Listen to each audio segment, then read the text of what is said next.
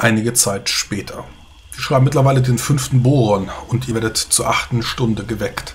Es hat geglas, die Wache wechselt und ihr befindet euch kurz vor dem Hafen von Brabak. Es regnet immer noch, es ist immer noch warm, schwül, drückend und mittlerweile könnt ihr einige Fliegen hören, die sich nicht nur um eure Kajüte gelegt haben, sondern sich auch teilweise im Inneren eurer Kajüten befindet und euch, wie ihr gerade bemerkt, ekelhaft gestochen haben. Schmerzhafte rote Stellen, äh, die euren Körper bedecken und euch äh, eher, eher widerlich wecken. Ein paar Kopfschmerzen, die ihr habt und der Gestank, der vom Sumpf an euch herandringt, könnt ihr auch schon hier im Kap Brabak auf der Hohen See hm, bemerken. Was wollt ihr tun?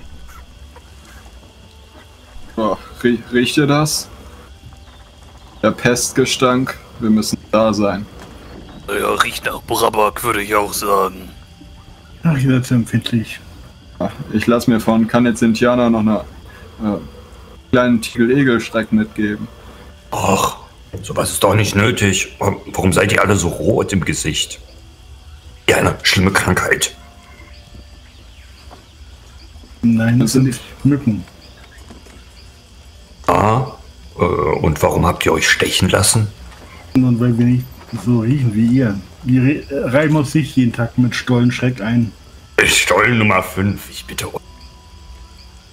Aber wenn das hilft, dann gib mir auch mal was davon, Voltax. Äh, ich fürchte, das wird nicht helfen. Mich stechen die Dinger nicht. Ja, dann sag doch den scheiß Lotsenseher sollen an Bord kommen, mir egal. Weil ich ein Diener Sumus bin und weil Sumo mich Abenteuer. liebt. Ja. Äh, Abenteuer. So, wir sind da. Äh, die Lotsen kommen gleich an Bord. Äh, die, ich habe die ganze Nacht, musste ich diesen ganzen dummen Klippen ausweichen. Das nächste Mal macht das Jalan wieder. Keine Ahnung, warum der immer noch unten sitzt. Ja, er ist voll beschäftigt. Na gut, lass die Lotsen an Bord kommen und das Schiff dann an der. Ja, habe ich alles schon veranlasst. Müsst ihr mir gar nicht sagen. Das Sehr Schiff schön. kommt auch super ohne euch klar. Ja, warum, warum seid ihr denn hier? Weil hier einfach weniger Mücken sind, Mann. Ach so, na gut. Äh, ihr solltet Egelschreck probieren. Ja, du solltest mal probieren, nach draußen zu gehen. Ja. Dann läuft dir die Suppe runter. Das Egelschreck haftet auch nicht. Etwas ist immer. Ja. Naja, wir sind in Brabak hauptsächlich. Ist das das Problem? Vor allem hast du dir das ausgesucht, Mann. Ich habe hm. ja keine Wahl. Nun ja, vielleicht könnt ihr ähm, etwas Freundschaft schließen. Ich habe gehört, hier sind auch Torwaller in der Stadt. Hm. Keine Ahnung. Ist das so? Ja. Glaube ich nicht. Nun, vielleicht wollt ihr Bekanntschaften schließen und euch austauschen. Ich weiß echt nicht, was du willst, Mann. Äh, ist doch auch egal. Oder lass Ge es bleiben. Du gehst mir furchtbar auf die Nerven, Mann. Ja, du mir auch. Gut. Sehr schön. Was juckt? Überall! Nicht kratzen, das gibt Narben. Halt die Fresse. Und geht er wieder nach draußen und entscheidet sich dann wieder, macht die Tür wieder zu. Nein, ich bleib doch hier. so. Naja, so Narben haben wir auch was, ah, muss ich sagen. Weißt du was, ich nehme die Hängematte von Greifenmund, wenn der jetzt gerade sowieso unten ist und äh, ihr geht ja gleich in die Stadt, dann bleibe ich einfach hier. Ja, das ist eine gute Idee. Und werft nicht meine Briefe aus dem Fenster. Ja, sind da noch mehr mit irgendwelchem Echsenzeug? Nein. Aber wenn, lass dann dürft ihr. Lass die Finger von meiner Korrespondenz. Hast du einen Schlüssel bei dir? Natürlich. Ah. Abenteuer. Das wohl. Ich hätte ja nicht ungern Lust, Tekala damit zu beauftragen, uns mit der anderen Fahne Flagge hinterher zu laufen. Was soll denn das bringen? Also. Dann finden wir hier ganz schnell ganz viele Freunde. Und was soll uns das bringen? Und das äh, untermauert meinen Standpunkt. Ja, so ein paar tote Brabraki, denke ich. Ja, welchen Standpunkt? Brabraka Arschlöcher sind. Wollen wir hier einen Krieg anfangen oder wollen wir hier nur an Land gehen? Ja, der Krieg wurde schon vor Jahrhunderten angefangen. Ich denke, wir haben hier verschiedene Ziele, aber mir. Tut mir gefallen und fangt möglichst wenig Streit an. Also keine Flagge? Keine Flagge. Äh, was ist mit der äh, örtlichen Nationalhünde von Alanfa? Wie geht die denn? Oh, Alanfa. Oh. Plötzlich könnt ihr hören, wie ein äh, gewaltiger Ratsch durch euer Schiff geht. Holz, was leicht splittert. Was ist denn nun schon wieder los? Gigantik. So schlimm war euer Gesang jetzt auch nicht. Verdammt, Hasswolf! Was war das? Ich lege eine Hängematte, du Arsch. Kommt er dir noch entgegen. Und du kannst sehen, äh, Ja, wenn du nach oben trittst, wie einer der Lotsen äh, oben steht und äh, gerade beschwichtigend die Hände hebt. Das ist Scusi, Scusi, äh, nix wissen, nix wissen, groß Schiff. Guckt mal runter, am- an der Schiffswand runter. Ja, du kannst sehen, dass ihr in die Hafeneinfahrt äh, wohl gerade einfahrt. Äh, unter der Führung eines Lotsen in den häufigst besuchten Hafen Aventuriens. Äh, vorbei am berühmten Kapfeuer und den äh, mächtigen Hafenfestungen aus grauem Stein, ähm, die hier auf einem Insel leicht äh, vorgelagertem Hafenbecken liegt. Aber es ist wohl so schmal, dass ihr tatsächlich wohl beim Ausweichen eines anderen Schiffes ähm, einen guten Riss ähm, hinterlassen habt und das äh, Holz ist gut eingedrückt an der Stelle. Kannst dann auch von unten schon hören, wie es äh, Rufe von den Trollzackern gibt und dann auch die ersten Handwerker, die besorgt nach unten eilen, äh, schon wissen, dass sie etwas zu tun bekommen. Lotse, das werdet ihr bezahlen. Äh, Scusi, scusi, nix bisschen. Das werdet ihr bezahlen. Ähm, ich versuche mal dem Nix Lotsen zu helfen.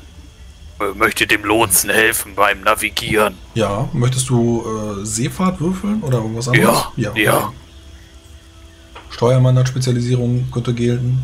Habe ich leider nicht. Sieben Punkte. Ja, äh, du äh, stellst dich schnell nach oben zu ihm und siehst, dass es brutal schwierig ist, hier reinzukommen. Und äh, er hat dann wohl den, den besseren Felsen gewählt, gegen den er geschraubt ist, anstatt gegen ein Schiff, was dann euch auch mit Geschwindigkeit entgegenkommt. Das hätte natürlich mit dem äh, ja, Impulsinhalt hätte das natürlich dann auch noch eine ganze Menge mehr kaputt machen können. Hm, Vor allem, wenn man dann noch bedenkt, dass die Segel aneinander stoßen. Also, äh, ob er schuld war. Man kann ihm das natürlich jetzt nachtragend, ähm, man könnte ihn da jetzt anklagen oder sowas, aber ähm, das ist schon richtig schwierig, in Brabak zu navigieren. Ja, das hat er nicht schlecht gemacht, sonst wären wir in das andere Schiff gefahren und die haben einen Rammsporn. Scusi, scusi, nix verstehen. Nix wissen. Kein, kein Gerät, ja. Ja, ja, bringt uns einfach dorthin, an die Anlegestelle, wo wir hingehören. Und Ja. keine Unfälle mehr. An beiden Ufern des Mysop liegt nach stürmischer Fahrt endlich die Stadt mit den weißgekalkten Häusern und dem satten roten Ziegeldach. Ein wahrer Wald und aus Masten beherrscht den überraschend wenig ausgebauten Hafen, Schiffe aus aller Herren Länder, bornische Chivonen, Potten aus dem Mittelreich, einheimische Fischkutter und Freibeuterschiffe, viele Horasier auch. Unweit äh, liegt die Werft, äh, wo auch die König Peleiston liegt, die Galeere des Königs, stolz vor Anker. Ja, äh, zahlreiche kleine Boote, die dann hier auch äh, versuchen, euch zu navigieren oder die anderen. Ihr könnt erkennen, wie wohl an einem äh, Schiff äh, ungefähr hm, nur dreimastige Taluka, also schon etwas größer. Ähm, da, da schrappen wohl gerade zwei, drei Krokodilleros in Schutzkleidung ähm, am Rumpf ein paar Morphus ab, die sich da wohl an die äh, Schiffe ange, angehaftet haben. Und ihr könnt jetzt auch, äh, wenn ihr das seht, bei den anderen an euch herunter gucken und sehen, dass ihr wohl selbst äh, einige Lotsen habt, die äh, eigene Morphus von euch herunterkratzen. Unzählige Menschen drängen sich an den Anlegestellen, wo offenbar äh, schon an großen Tribünen gearbeitet wird. Und das Grollen der Brandungen, Möwengeschrei, der Salzgeruch des Meeres erfüllt die Luft, es stinkt nach dem Sumpf. Und weiter stadteinwärts thront auf einem Hügel nicht nur der Königspalast, um dem wie Harpyr flattert, sondern auch eine gewaltige schwarze Pyramide, die einen großen Schatten wirft. Willkommen in Brabak. Ach, bezaubernd. Ja, es ist genauso schön wie beschrieben. Nun ja, ist es schöner als vermutlich Alanfa, aber Was? Ja, wollt ihr unbedingt noch mal das Wasser von, von genauer beobachten, Kapitän, oder was soll dieser dumme Kommentar? Ich glaube, ihr seid eben auf den Kopf gefallen. Sehen wir hier dasselbe? Scusi, scusi, äh, kann machen gut Preis bei Werft. Äh, wir reparieren gut. wenn ihr es bezahlt, gerne. No, no, äh, bezahlen nicht gut, nicht gut. Ihr bezahlen. Ihr habt das Schiff beschädigt, ihr No, werdet no, no, bezahlen. no, no, ihr, ihr bezahlen. Gut Werft. Sonst äh, Schiff Sinki Sinki. Ich werde mit meinen Handwerkern sprechen, ob es notwendig ist. Hier wird man ja schon beim Einfahren in den Hafen übers Ohr gehauen. Machen die das Schiff kaputt und wollen die dann auch das mir für die Reparatur bezahlt. Ich würde dann mal zu, zu Angro Schmina gehen wahrscheinlich. Die ist wahrscheinlich dafür zuständig. Ja, äh, Kapitän, ähm, ja, äh, zum Glück ist noch nicht viel Wasser reingelaufen, aber es ist etwas schwerer als normal. Könnt ihr das sehen? Sie hat, sie hat so einen großen Klecks Öl, Wasser auf ihrem Finger und äh, streift es gerade an ihrer Schürze ab. Ähm, tja, ich weiß nicht, also wir, wir, wir, sollten, wir sollten auf alle Fälle eine ganze Menge noch machen. Schafft ihr das allein oder müssen wir eine Werft dafür bemühen? Also wir können ja auf alle Fälle nicht nach zwei Stunden wieder los. Das geht wohl nicht. Ich weiß nicht, äh, nach Roter Lehm, äh, da ist ja nicht viel passiert, aber ähm, also eine, eine Werft wäre natürlich schon gut. Ich weiß nicht, ob man, ähm, ob man da die Handwerker braucht, aber da kann man es zumindest trockenlegen. Na gut, dann werden wir das Schiff in die Werft bringen lassen. Ihr beaufsichtigt die Handwerker, dass sie alles richtig machen? Äh, ja, das kann ich natürlich tun. Es sind ja dann unsere Handwerker. Ich, ich würde erstmal mit unseren arbeiten und wenn ihr sagt, dass wir, äh, weiß ich nicht, unter, unter Zeitdruck nach zwölf Stunden wieder fahren müssen, dann würde ich mir welche dazu holen. Nein, ich denke nicht. Okay. Gut. Und danke an Goschmina. Ja, gerne, dafür bin ich ja da. Dann lasst am besten gleich die, die Werft ansteuern. Ja, danke. Scusi, scusi, nix wissen. Gut Werft. Schiff Sinki Sinki. Ja, Schiff Sinki Sinki. Bringt das Schiff in die Werft. Über den Preis einigen wir uns noch. Nix Preis, nix verstehen. Ja, darüber reden wir noch.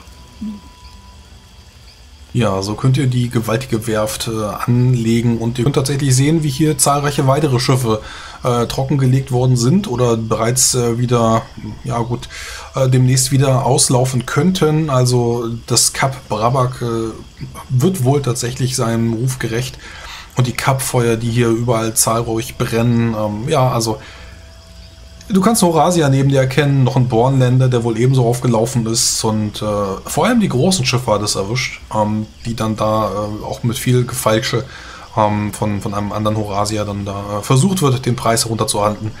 Ähm, und es gibt dann auch direkt einer, der, der euch einweist, ähm, wo ihr dann reinfahren könnt. Hinter euch schließt sich dann auch direkt äh, die Schottmauer, damit man dann das Wasser ablassen kann. Und äh, die wissen bereits Bescheid, es ist nicht das erste Schiff, was jetzt hier einläuft und eine große ähm, Planke, die dann zu euch rübergeschoben wird. Ja, dann würde ich das Schiff verlassen und mal diesen Schiffsbaumeister aufsuchen, der hoffentlich auch irgendwann auftaucht. Ja. Du wartest ein bisschen, du kannst schon sehen, wie zahlreiche andere Handwerker ähm, um euer Schiff herumwuseln und ähm, es klingt so, als würde ein Stöpsel gezogen werden oder äh, irgendeine mechanische Apparatur in Gang gesetzt werden und du kannst sehen, wie das Wasser unter euch dann ähm, abgelassen wird und nach kurzer Zeit setzt euer Schiff dann auch auf dem Trockenen auf. Dann kannst du sehen, wie eine Person in einer grau-schwarzen Gewandung auf euch zukommt, die Hände in seine äh, eigenen äh, Taschen des Mantels geschoben und ähm, er kommt dir merkwürdig vertraut vor. Äh, weiß nicht genau, wo du ihn das letzte Mal gesehen hast oder an, an wen oder was. Doch, Mutterleben. Und er nickt dir einfach nur zu. Mit einer raspelnden Stimme spricht er. Willkommen in Brabak. Äh, wir können euch einen guten Preis machen. Wir haben schon von eurem Heldenschiff gehört. Äh, haben wir uns nicht schon einmal gesehen? Nein, aber ich habe von euch gehört. Dies ist die, die, die Werft der Schahasas. Keine Sorge, wir kümmern uns gut um euer Schiff. Nun, macht einen Preisvorschlag. Tja, erst einmal sind da sicherlich die Einfuhrgebühren, äh, die, die Einzugsgebühren, die Einreise nach Brabak. Tja, je nachdem, wer alles vom Schiff gehen will, bis zu fünf Dukaten kann das kosten.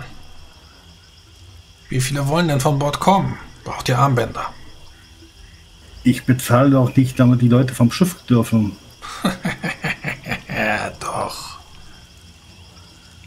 Das ist das Gesetz vom König. Was für ein König. König mit Sirion. Nun, das werden wir klären. Könnt ihr gerne tun. Ich kann euch die Gesetzbücher aufs Schiff bringen lassen, wenn ihr wollt. Nein, danke. Für einfache Tagelöhner fünf Heller. Für gut verdienende Professionen Magier, Kaufherren, Krieger, was kostet, die, was kostet die Reparatur des Schiffes? Tja, nur ein kleiner Stoß. Habt ihr eigene Handwerker? Natürlich. Dann werden wir wohl eine Tagesgebühr verlangen. Für die Nutzung der Werft. Sagen wir 50 Dukaten. Weil ihr es seid. 50 Dukaten pro Tag. Nur damit ihr hier liegen dürfen? Ich kann das Wasser auch wieder reinlassen, keine Sorge. Weiß ich, ob es hier noch andere Werften gibt? Das ist die einzige gewaltige Werft. Der Hafen ist groß, er ist nicht ausgebaut. Es gibt also keine richtige Anlegestelle. Tja, dann haben wir wohl keine große Wahl, wie es aussieht. Angoschmina sagte mir, wir müssen diese Werft besuchen, richtig? Ja. Ja, dann müssen wir wohl den Preis bezahlen von 50 Dukaten. Wie lange braucht ihr? Braucht ihr Handwerker von mir? Ich sagte nein. Wir haben selber Handwerker. Ich brauche gar keine Zeit. Ihr könnt so lange vor Ort liegen, wie ihr wollt. Nun gut, 50 Dukaten pro Tag. dann werden wir diesen Preis wohl bezahlen. Wie gesagt, ich bringe euch gerne die Gesetzbücher von König Mycerion. Nein, das wird wohl nicht nötig sein. Unsere Zöllner nehmen fünf Heller für einen Tagelöhner und fünf Dukaten für Kapitäne, Kaufherren, Kriegerinnen, Magierin. Ihr seht mir aus wie alles. Kaufherr, Kapitän und Magier.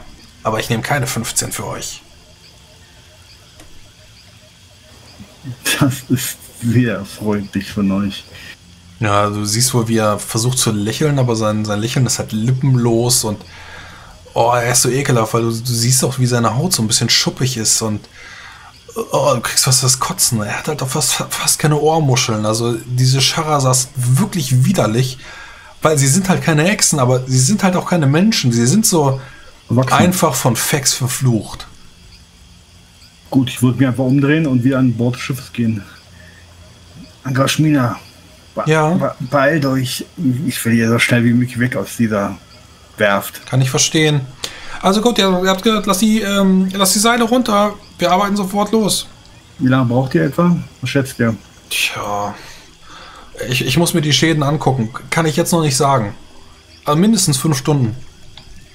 Gut, das wird reichen. Mindestens.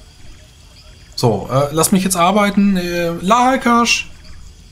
Wer du nennst mich Lagodash. ich würde dann wieder unter Deck gehen. Äh, wahrscheinlich in die Kajüte. So, Nun, wie ist der Stand der Dinge? Äh, wir müssen wohl hier in, wahrscheinlich mindestens einen Tag in dieser Werft bleiben. Und ja, die Gebühren dafür bezahlen. Nun, das ist normal, schätze ich. Ja, 50 Dukaten sind kein Sportpreis. Nein, das klingt in der Tat etwas überzogen. Und wir haben keine andere Möglichkeit. Es gibt wohl keine andere Werft hier. Hm, Das stimmt, das stimmt. Das habe ich auch nicht gesagt. Also, was wollen wir tun? Ich würde vorschlagen, wir besuchen den Effa-Tempel. Ey, Kapitän. Die Tür geht einfach auf und du kannst sehen, wie Ismaban äh, reintritt. Ey, die wollen hier Geld dafür, dass wir äh, vom Bord gehen dürfen. Das ist scheiße. Gib mal Geld. Ha Hasswolf, könnt ihr euch drum kümmern? Das Wolf ist, glaube ich, nicht. Achso, der schläft da in der. Dann weggehen. Äh, ja, der, der, der brummt einfach nur und äh, schüttelt mit dem Kopf. Wenn die, Dro äh, wenn die Matrosen von Bord gehen wollen, können sie das doch bestimmt von ihrer Heuer bezahlen. Für was bezahlen wir sie denn? Ja, Nein, nein, nein, nein, willst du mich nein. verarschen, Diamantes, oder was? Wir machen das folgendermaßen. Das ist eine gefährliche Stadt, in der es Geister gibt, nicht wahr? Was, Aber Geister?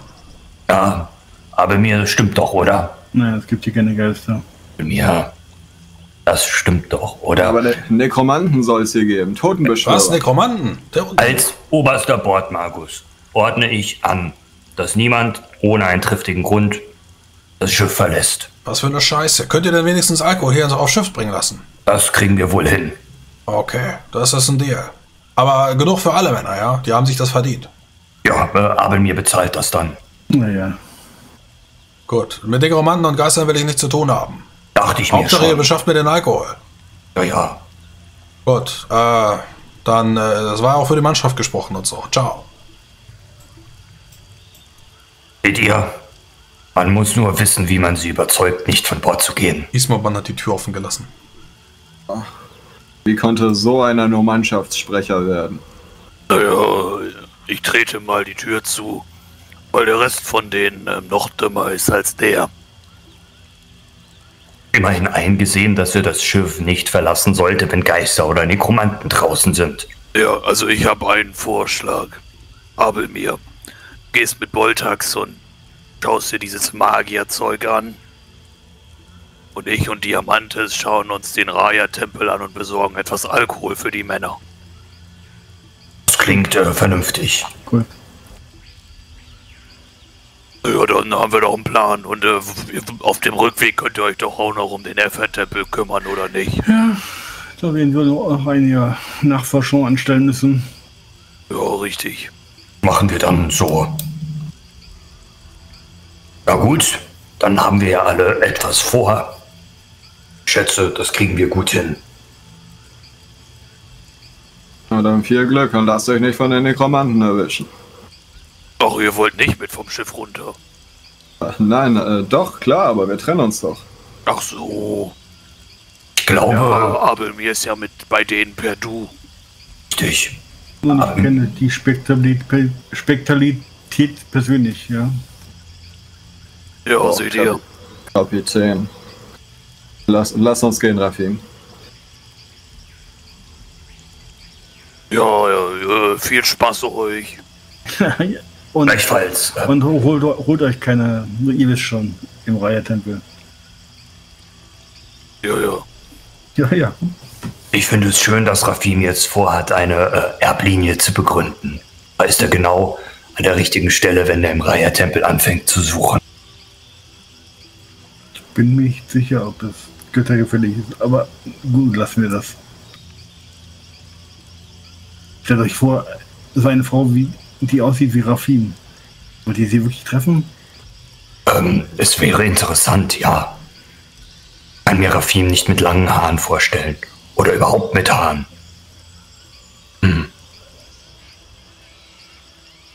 Das macht mir ein wenig Angst, aber, aber gut. Ach, aber mir nicht immer so negativ sein. Er wird bestimmt eine wunderbare Frau finden. Wenn er Danke. sie nicht kaputt macht.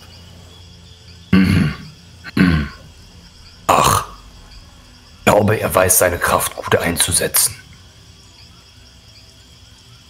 Er ist eben doch kein plumper Klotz, sondern, naja, schon ein äh, raffinierter Kraftkerl. Ah, Ja, wollen wir das Beste draußen für ihn, dass er seine Liebe findet. ja, ja. Dann lasst uns doch mal äh, zu eurer Akademie gehen. Ähm, ihr sagtet, ihr kennt die Spektabilität ganz gut. Äh, wer ist das so? Erzählt mir doch etwas von ihm oder ihr. Äh, Spektabilität. Ja, ich hatte sie bei, erst beim ersten Mal in, Gar in Puni getroffen. Sie ist eine, wie soll ich es beschreiben, eine schöne Frau, eine schwierige Frau, eine gefährliche Frau. Mhm, Das trifft alles auch auf Jalands Ehefrau zu. Nun, in, auf sie trifft es noch um ein Vielfaches mehr zu, könnte man sagen. Aha. Das schön, das schwierig oder das gefährlich? Welches von den dreien? Alles. Ah. Nun, dann wird das sicherlich eine reinste vergnügliche Angelegenheit, wenn wir sie treffen. Nun ja, das wird sich zeigen. Ich gebe euch einen guten Rat, wenn ihr Magister Polbera trefft, geht ihm aus dem Weg. Den Name, der ist jetzt schon einmal gefallen. Was ist das denn für einer? Nun, auf ihn trifft wohl die Be Bezeichnung Nekromant am besten zu. Ah, Er riecht, er riecht, wie, wie riecht er? Wie er riecht wie ein. Habt ihr schon einmal ein, Schlachthaus betreten? äh, ja, natürlich. Seht ihr? Stellt euch ein Schlachthaus vor, was seit 15 Jahren geschlossen hat. Äh, und die Kadaver hängen immer noch dort oder nicht? Ja, Ah, nun gut, das kann ich mir vorstellen. Ähm, weil, wenn dort keine Kadaver mehr hängen, dann wäre der Geruch eines normalen Hauses. Ah, und sein Faktotum. Nun, ihr werdet ihn erkennen. Ich rate euch, macht einen großen Bogen um ihn. das äh, werde ich tun. Was kann ich sonst noch sagen? Fasst nichts an. Er hat dir die Hand gebrochen. Ich weiß. Du reibst, du reibst ja immer schmerzhaft über die gebrochene Hand. Äh, ich bin nicht Jalan, äh, keine Sorge, ich fasse nicht einfach irgendwelche Dinge an. Gut. Das wird sich finden. Ich hoffe doch. Dann, dann äh, zeig doch bitte den Weg. Ja, ich würde dann mal vorgehen. Also ich glaube, diesen Klotz kann man gar nicht verfehlen. Ja, erstmal vorbei in den Planken, äh, bis du dann aus der Werft heraustrittst und dann vor ein paar Zöllnern stehst, die da feixend äh, Rauschkräuter noch irgendwie im Mund kauen und äh, die dann zunicken. Willkommen Ja, in Brabak, hallo. Ein Säckchen zu werfen, das wird reichen. Äh, Tagelöhner, ne? Tagelöhner, ihr seid Tagelöhner. Guck kurz rein. Was hast du Ja, für ja 15 Silberstücke pro Tag. Wartet, wartet. Ihr kriegt auch Bändchen. Ist das Damit könnt, damit könnt ihr einen Monat hier rumlaufen. Gut. Sonst müsst ihr nochmal bezahlen, wenn ihr morgen oder nachher wieder rein und raus wollt. Äh, ja gut, dann gebt dieses Bändchen her. Hier, bitteschön. Danke. Tagelöhner-Mädchen und so. Ja. Viel Spaß in der Stadt, Mann. ja. Ich würde mal die Straßen laufen, nach rechts und links gucken, wahrscheinlich überall Händler, Marktstände. Ja, überall Händler äh, vom verschiedensten Couleur. Du findest äh, alles in dieser Stadt, alles, weil alles über Brabak gehandelt wird, alles umgeladen wird und sich durch ein Gesetz von König Mycerion eben auch alles irgendwie äh, hier umschlagen lassen muss. Wenn du ähm, 100% irgendetwas abführst, dann wird sicherlich 5% von, von dem Ding hier äh, vom Schiff gefallen sein. Aus Versehen. Mindestens. So dass du eben hier, wie gesagt, alles zu äh, hohen Preisen findest. Ähm, und man hat ja auch keine Skrupel, alles zu verkaufen. Man rühmt sich, dass man hier sehr tolerant ist und äh, während äh, du dann durch die einzelnen Marktstände schreibst, die überall in der ganzen Stadt äh, aufgebaut sind, kannst du auch sehen, wie wohl eine Gruppe aus äh, fünf Echsenkriegern und einem Zeliten sich hier auch ähm, an dem Markt umschaut, kurz stehen geblieben sind und sich dann in ihrer gutturalen Sprache unterhalten.